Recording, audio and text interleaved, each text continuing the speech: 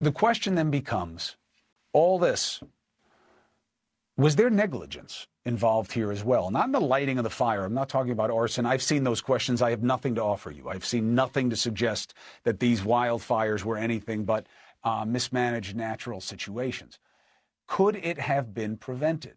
And it is not just the fires spreading, but the devastation to people, especially the human cost. Did they screw up letting people know? Let's bring in Hawaii State Senator Angus McKelvey. He's in Maui. Uh, connection may be a little spotty, uh, but we'll take what we can get. Senator, can you hear me? Can you see me? Aloha, sir. Yes, I can. Thank you very much for having me on. I appreciate it. All right. Give me a quick sense of any urgencies that have arisen uh, that people need to know about. Uh, the urgencies are happening every day. I mean, it's been chaos. it's pretty much nonstop chaos. We had more chaos today with the placard program that tried to roll out.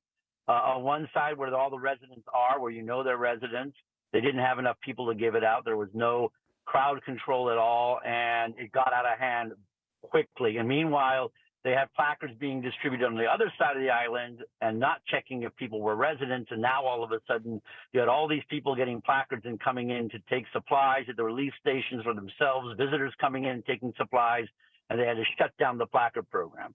So now we don't have access for the residents to get in and out and do self-supplying. And quite frankly, that has been the lifeline keeping the community alive has been the community rallying to try to take care of itself because of the breakdown that's and the chaos that's occurred since then and it's still ongoing.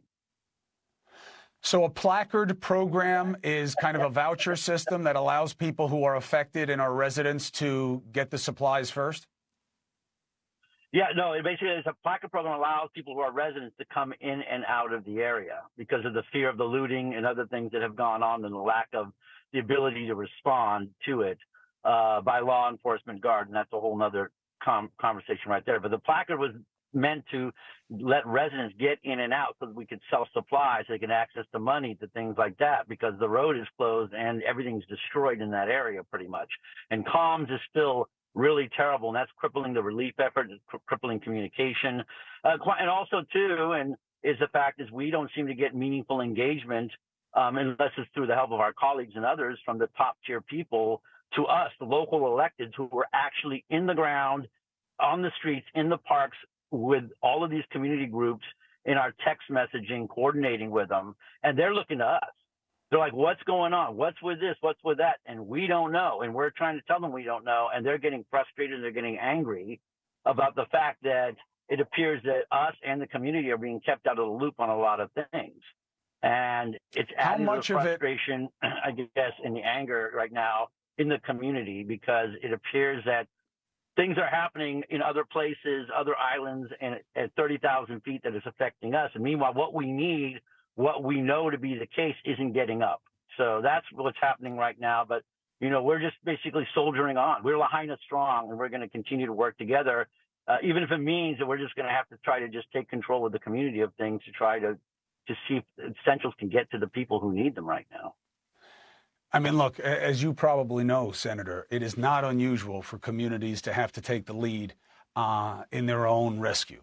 And they have to bond together and, and um, you know, you hope for the best that you can get from the federal uh, agency. You have uh, hundreds of FEMA people on the ground there. They're trying to get more people there. I get that you're frustrated by that side of the response. Uh, I know it's a little early, but this is really the only moment we'll have to talk about it because people will forget when there's the next disaster.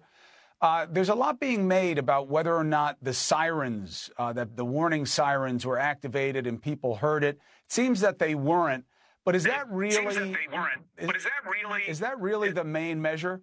You know, they said they were putting out warnings on cell phones and email that they were warning for days in advance. Do you really believe that this was a case of being caught off guard? Well, no, what went out were what they call red flag warnings. And those are common. You know, the wind there's a high wind condition, it's very dry and arid. There's the chance of increased brush fires, uh, which have occurred. Uh, but when something like this basically steamrolls to this level, there should have been immediately been text messaging sent out. There should have the sirens should have blown.